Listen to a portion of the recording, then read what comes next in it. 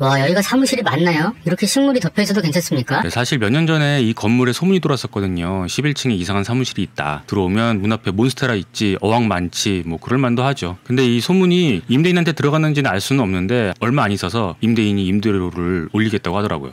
그래서 이사하셨나요? 아니요, 보시면 알겠지만 이사를 할 수가 없어요. 그래서 어차피 이렇게 된 거 아예 정글을 만들자. 뭐 그렇게 생각을 했죠.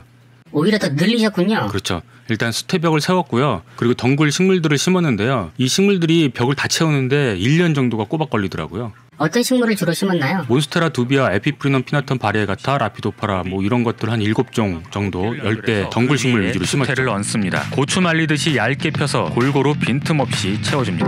아, 수태가 다 쏟아지는군요. 쉽게 가려고 했는데 안 돼. 을 심은 지 85일째가 되는 날 에피바리 A에 구멍이 보이기 시작합니다.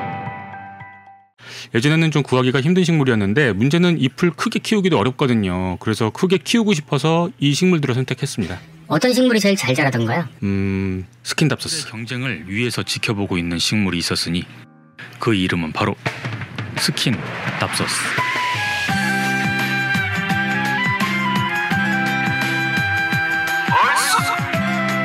스킨 답서스는 이미 천장에서 줄타기를 하며 놀고 있습니다. 이 스킨답서스가 엄청 흔한 식물이잖아요. 화원에서도 뭐 싸게 팔고. 근데 이게 성장 속도가 엄청 빨라요. 이렇게 잘 자랄 줄은 저도 몰랐죠. 사실 스킨도 잎이 찢어진다고 해서 도전을 했는데 찢어지기도 전에 수태벽을 넘어서 천장을 타더라고요. 그래서 스킨답서스는 어떻게 하셨어요? 아예 천장에 고정시켜서 그냥 천장을 스킨으로 덮어버렸죠. 얘네가 엄청 경쟁적으로 자라거든요. 뿌리를 조금만 박을 자리가 있어도 막 타고 올라요. 진짜 치열해요. 그런데 가만히 들여다보니까 이게 꼭 경쟁하는 것만은 아니에요. 그럼요. 이 안에서도 자기들 나름의 규칙을 가지고 살아가는 법을 터득한 거죠. 예를 들면요. 몬스테라 같은 덩굴 식물은 잎이 커지면서 잎이 찢어지면서 구멍이 나거든요. 이게 바로 아래의 작은 잎들이 광합성을 할 수 있게 도와주는 거예요. 아, 경쟁을 하더라도 함께 사는 거군요. 그렇죠. 다 같이 잘 살 수 있는 방법을 터득하는 거예요. 이게 바로 공생이잖아요. 공생. 사람보다 낫네요. 아, 네. 요즘 보면 사람이 제일 하등 동물 같지 않습니까? 지금 보면 정말 어쩌다 사무실 절반을 식물로 채워버린 식물 집사 이야기. 아피스토 식물 에세이 처음 식물. 지금 인터넷 서점 알라딘에서 북펀딩을 진행하고 있습니다.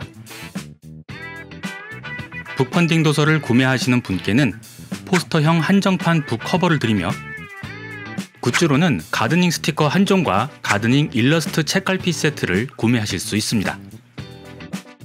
북펀딩 기간은 2023년 10월 10일까지입니다. 자세한 내용은 고정 댓글을 참고하세요.